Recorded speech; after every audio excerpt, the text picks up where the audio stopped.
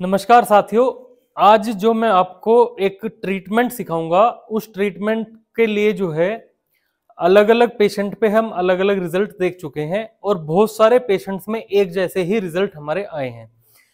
इस ट्रीटमेंट में हम आपको सिखाएँगे इंसोमनिया यानी कि अनिद्रा के लिए ट्रीटमेंट तो अनिद्रा यानी कि जिसको नींद से परेशानी है, नींद जिसको प्रॉपर नहीं आती है टाइम पे नींद नहीं आती है, रात को बहुत लेट तक जागते हैं या सोने के बाद में थोड़ी देर बाद आँख खुल जाती है, फिर उसके बाद दोबारा जल्दी से नींद नहीं आती है कई कई घंटे तक जागे रहना पड़ता है, या फिर किसी को अपने टाइम पे नींद नहीं आती है, रात को नींद नहीं आएगी, दिन में नींद आएगी, दिन में सो जाएँगे तो फिर रात को नींद नहीं आएगी। तो किसी का भी अगर स्लीपिंग पैटर्न डिस्टर्ब है, जिसको नींद आने में दिक्कत है स्लीपिंग पैटर्न अगर किसी का डिस्टर्ब है, टाइम पे नींद नहीं आती है या नींद आने के बाद नींद खुल जाती है फिर दोबारा नींद नहीं आती है जल्दी से, फिर सुबह के टाइम में तीन, चार बजे, पाँच बजे नींद आती है और फिर दस बजे, ग्यारह बजे जाके आँख खुलती है।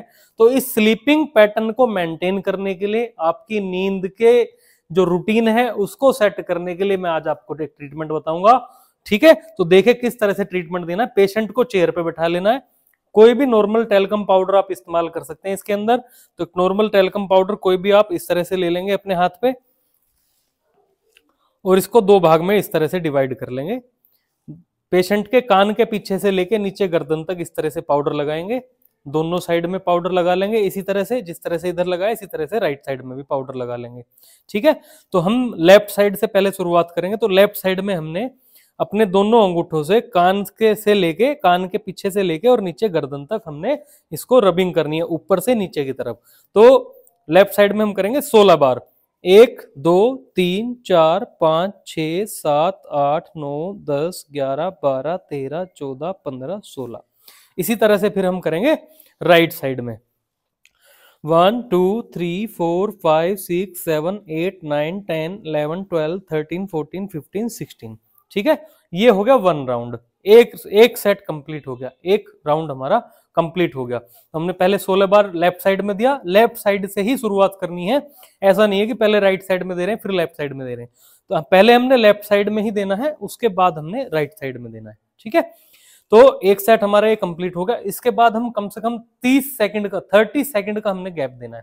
थर्टी सेकंड का गैप देने के बाद में फिर दोबारा से हमने यही रिपीट करना है।